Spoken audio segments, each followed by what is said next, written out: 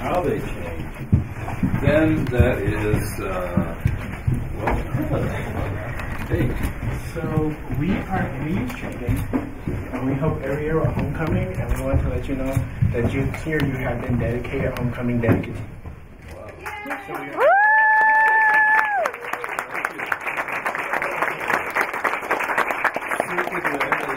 Yes, so is going to be our theme this year. So our homecoming theme this year is for the students to know it is Circus Day NAU.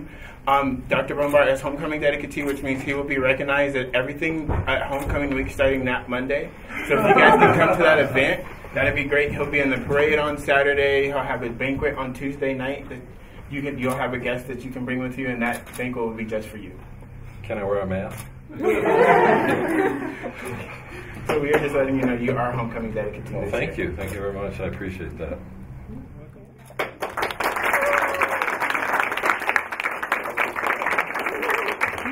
Thought we were going to rush to do it rolling. You get behind. They're more important. Dr. Brumbaugh?